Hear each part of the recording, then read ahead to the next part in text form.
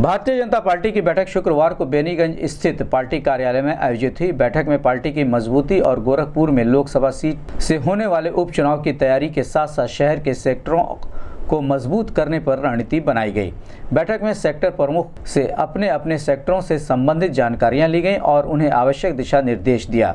बैठक में मुख्य रूप से पार्टी के प्रदेश मंत्री अनूप गुप्ता, उपचुनाव प्रभारी कौशलेंद्र, प्रदेश मंत्री कामेश्वर सिंह, क्षेत्रीय अध्यक्ष उपेंद्र शुक्ला, महानगर अध्यक्ष राहुल श्रीवास्तव, महानगर मंत्री ओम प्रकाश शर्मा, रमेश गुप्ता, देवेश श्रीवास्तव, राजेश गुप्ता, जितेंद्र सैनी सहित पार्टी के कई पदाधिकारी और सदस्य मौजूद रहे विधानसभा के चार मंडलों या सभी आ गए हैं। राप्ती नगर मंडल से रमेश चंद्र गुप्त जी गोरखनगर मंडल श्री उमेश श्रीवास्तव जी दिव्या नगर मंडल से श्रीमान युवा नेता विनोद दुबे जी हमारे उत्तरी सेक्टर में कितने बूथ बाकी रह रहे हैं? पंद्रह है चौदह मिला राजेश जी एक सौ तीस बूथ। एक सौ बाईस गठित होके आए हैं। पूरी समिति होती है? एक सौ बाईस और आठ आठ बूथ शेष है। जिसमें हिमाम उत्तरी से कितने बूथ बाकी हैं? एक बाकी है। एक और? तीन बाकी है राजनगर पश्चिमी से। राजेंद्र पश्चिमी से एक। तीन। और? चार बिहार। चार नंबर बिहार। चार किसान कैसे कैसे बन जाएगा ये। आधे आज भी मिल सकता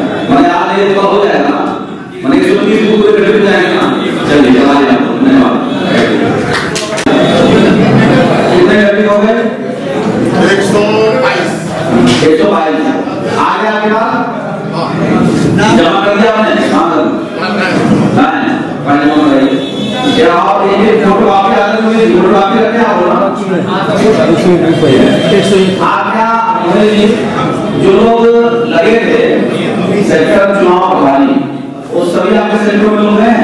आपका तो के काम किया है। तो आया तो आपस में बात नहीं करिए हैं? सब लोग काम किए हैं सभी काम किए सब लोग हैं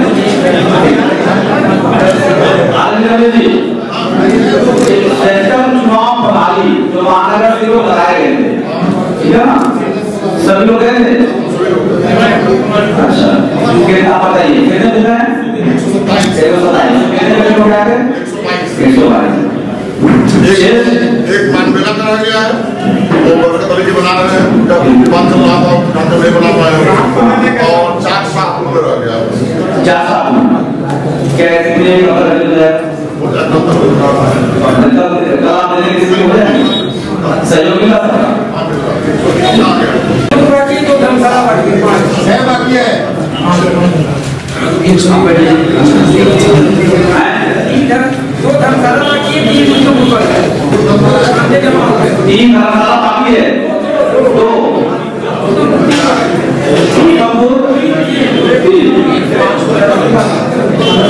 क्या स्थिति है कब तक रेडी कर लेंगे आज शाम तक हैं? ठीक है। ये मैं आप लोगों को होमवर्क होमवर्क आपका जो है वो कैसे हूँ अभी प्रदेश के मंत्री जो लोकसभा चुनाव के प्रभारी बनाए गए हैं ये विषय आएगा और उनके आने के पश्चात सीधे बैठक प्रारंभ होगी चालीस रूप से आगे धन्यवाद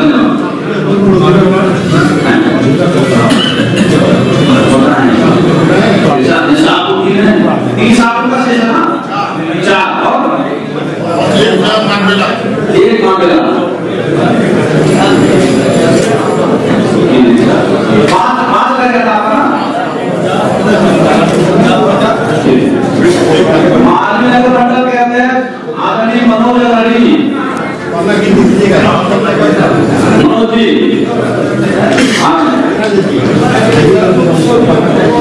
सामने, सामने। मैडम वाला है उसमें फोटोकॉपी लगा के लगा मनोज जी मिला करके एक सौ इक्कीस हो गया आप क्या ठीक है एक सौ बीस कितना हो गया और सभी पूरा एक सौ इक्कीस आज जमा भी हो गया जी, जमा हो गया। भाई तानार स्वागत करिए नंदन जी का